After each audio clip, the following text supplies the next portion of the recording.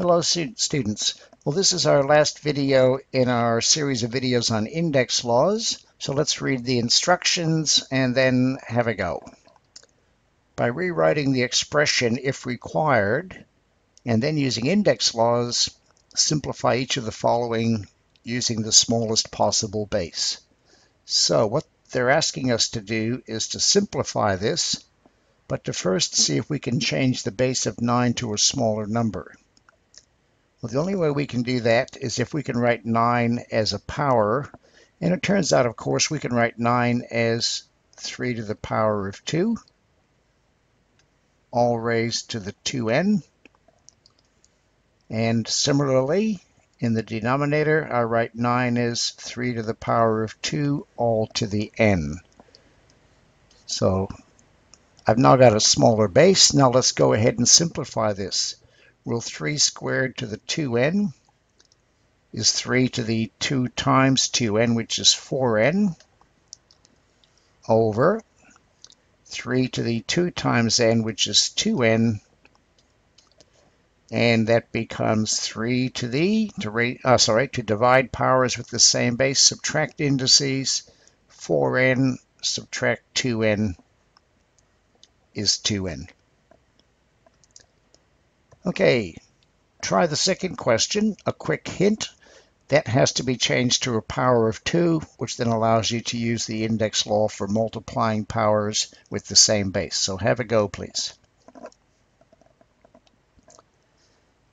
Okay, let's see how you went with that one. So the 2 to the n stays as 2 to the n. 4 becomes 2 squared all to the n plus 1. Okay, our next step is to simplify this factor. So 2 to the n times 2 to the. Well, we have to multiply the powers. I've got to multiply 2 by all of that. So that becomes 2n plus 2. 2 times n plus 2 times 1 is 2. Okay, and the last step to multiply powers with the same base, add indices, n plus 2n plus 2, and all of that simplifies 2 to the n plus 2n is 3n. Whoops, made a mistake. Let's fix that.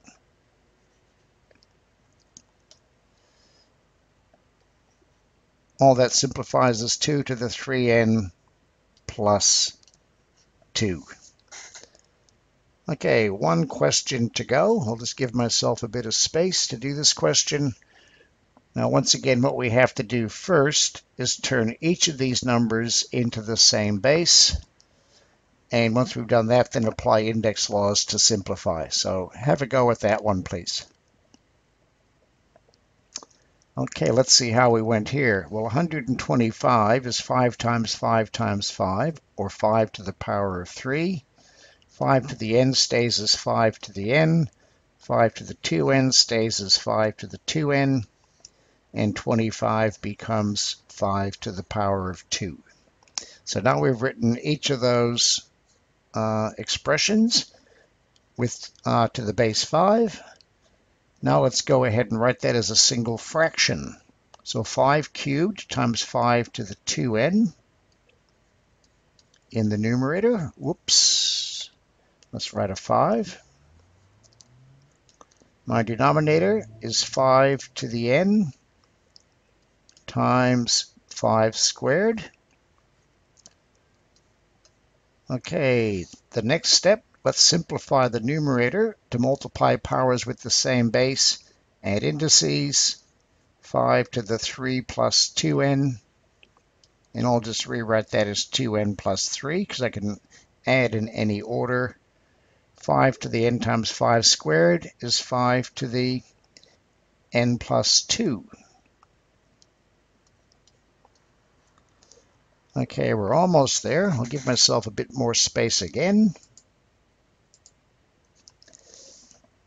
Now, one last step. To divide powers with the same base, subtract indices. That becomes 5 to the 2n plus 3 minus n plus 2. Well, let's subtract like terms. 2n minus n is n plus 3 minus 2 is 1. And there's the final answer. So for these last set of uh, problems, quite tricky ones, the first thing we did is we simplified the terms by getting a common base. You can't always do it, but the numbers were chosen nicely, so we could turn them all into the same base. And then we had to keep applying a variety of index laws to simplify.